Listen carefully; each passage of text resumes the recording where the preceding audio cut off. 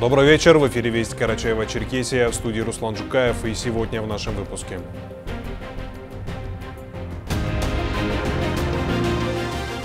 В Карачаево-Черкесии досрочно завершили капитальный ремонт дамбы на реке Большая Лаба. Новое сооружение поможет защитить от угрозы затопления более 30 жилых домов и приусадебных участков. Мошенники придумали новую схему обмана граждан. Аферисты представляются сотрудниками социального фонда в региональном ведомстве, подробно рассказали о сомнительных предложениях. Молодежь республики, занимающая активную гражданскую позицию, одним фронтом выступила за создание особой стратегии в вопросах патриотического воспитания. Яркая премьера лета в Кисловодском цирке. Гия Эрадзе и Росцирк представляют шоу мирового масштаба «Бурлеск».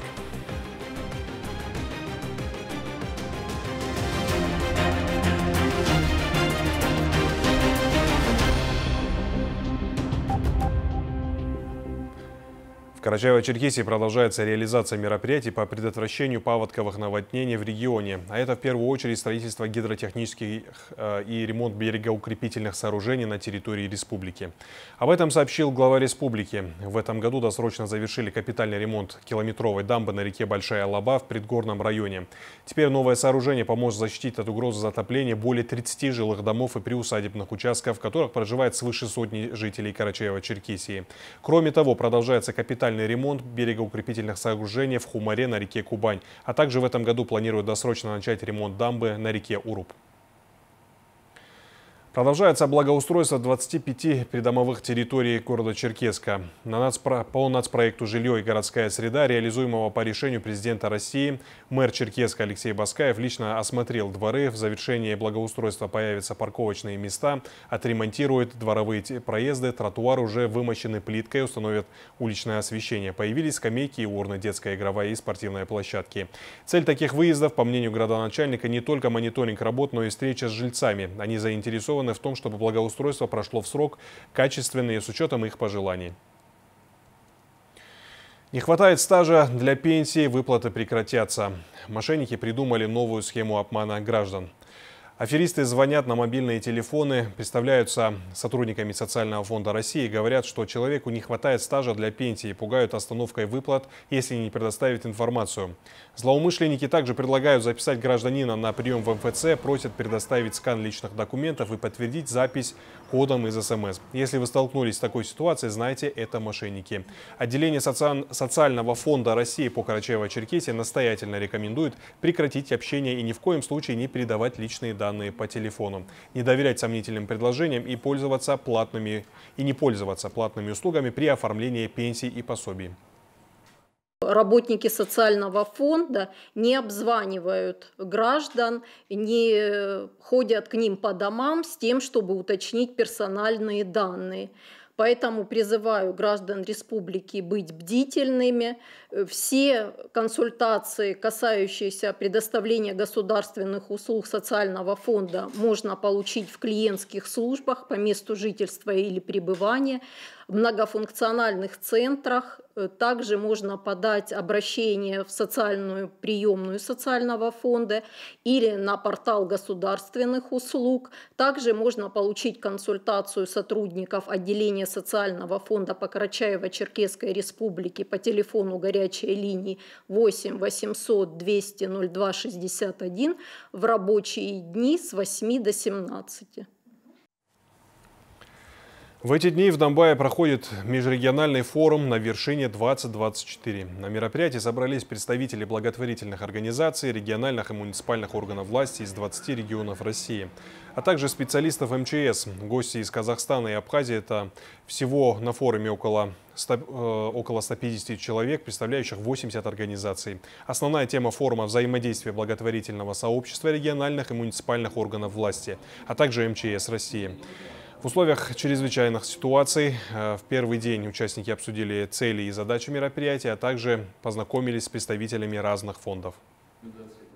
Наши спикеры представляют собой различные, различные организации, такие как государственные, так и некоммерческие организации, которые на своем примере рассказывают, на примере своего региона, о том, как, как они ликвидировали чрезвычайные ситуации, с кем они объединялись и как они работали. Целью вообще форума является в конечном итоге это выработка каких-то методических материалов по взаимодействию да, трех сторон. Это стороны бизнеса, некоммерческого сектора и государства, и государственной власти по э, ликвидации последствий чрезвычайных ситуаций. То есть будет вы, в, э, по итогам форума будет э, сформирован некий методический материал по э, рекоменда рекомендациям по взаимодействиям в ЧС.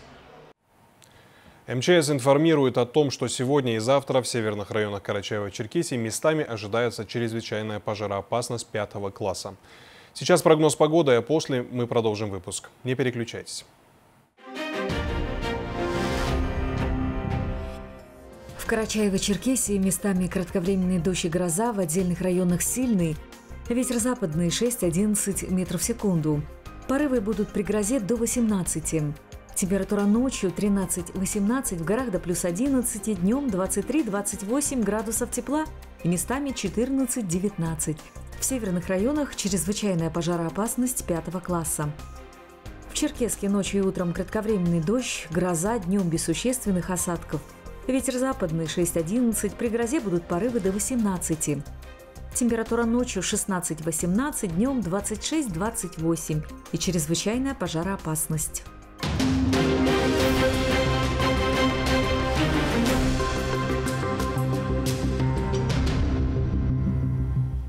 Вопросами формирования и реализации информационных кампаний, ориентированных на гражданское и патриотическое воспитание молодежи в современных условиях, задавались участники круглого стола, который прошел в Центре молодежного инновационного творчества в Черкеске. О том, каким, выгодам, э, каким выводом пришли, расскажет Фатима Даурова.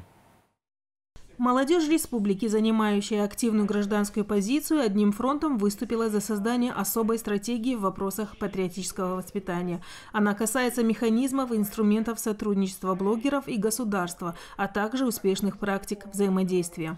Мероприятие разделено на два блока.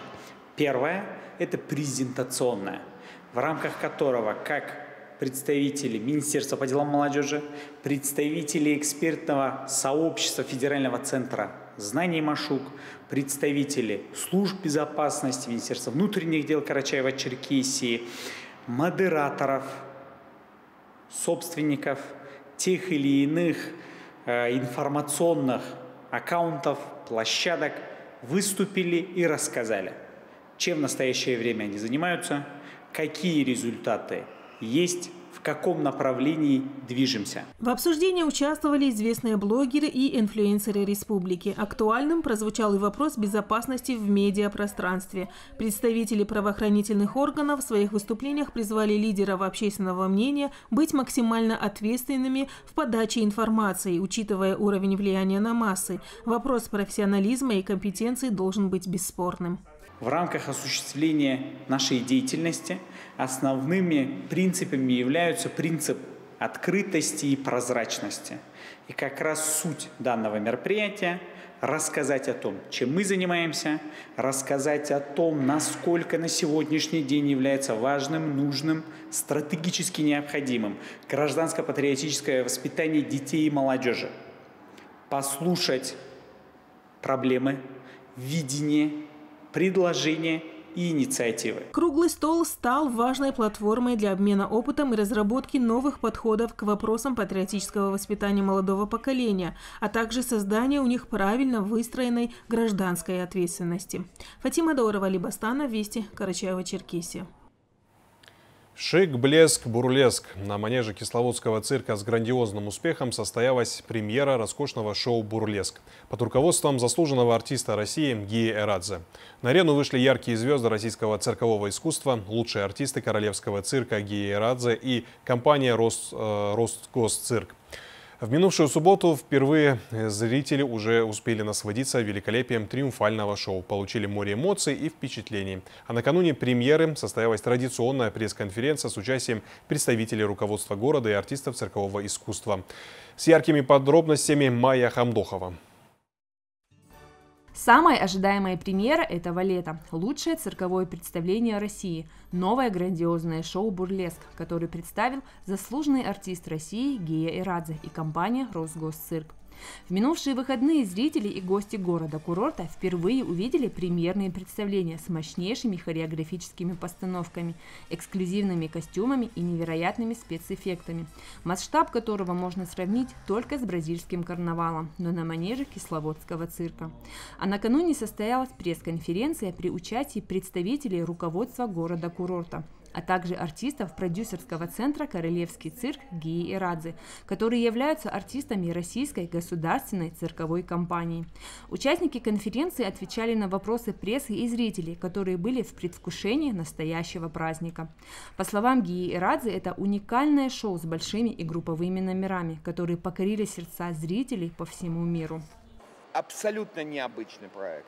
Здесь очень много красивых костюмов, необычных декораций, тонны просто э, спецэффектов, которых мы сегодня увидели на пресс-конференции. Это маленькая часть.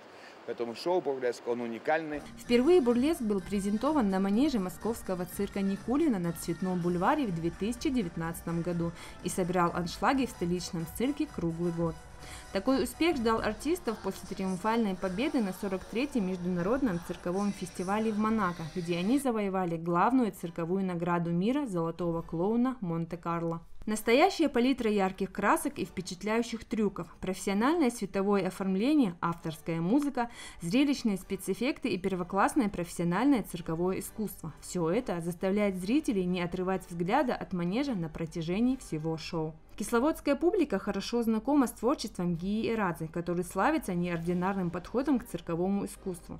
По словам зрителей, шоу «Бурлеск» – это уникальный проект не только для детей, но и для родителей. Что шик, блеск, красота, необыкновенные костюмы, необыкновенный каждый номер – это что-то удивительное. Я говорю, превращаешься в ребенка. Добавь.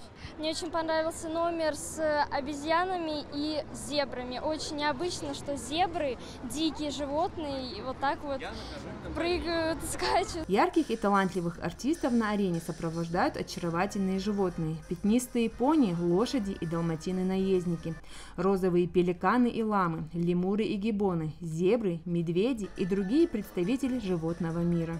Экзотический аттракцион Африка, зажигательная русская кадриль и бесстрашные акробаты на встречных качелях, ловкие жонглеры на стрелах, сказочный пегас и царевна-лебедь, эквилибристы на рояле в окружении утонченных балерин, страстная танго, гимнасты в натурниках, бронзовые скульптуры и много других невероятно сказочных номеров. В шоу «Бурлеск» представлена уникальная групповая трансформация Фаберже, которую мечтают увидеть поклонники творчества Гии и Радзи со всего света.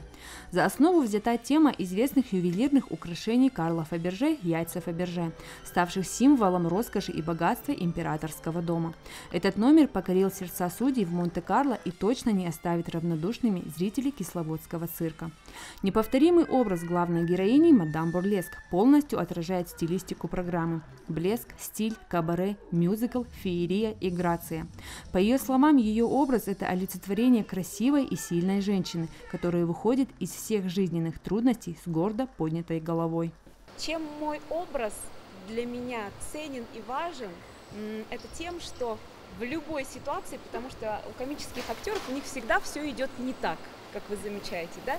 И в этой ситуации нам всегда с вами нужно оставаться шикарными, красивыми и уметь выходить из любых жизненных невзгод и неурядиц с гордо поднятой головой и просто шикарной, как в нашем бурлеске.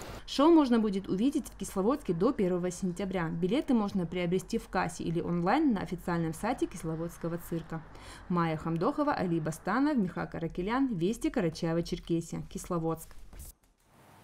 Такими событиями отмечен этот день. Прямо сейчас смотрите продолжение фильма «Вместе навсегда». Всего доброго и до встречи в эфире.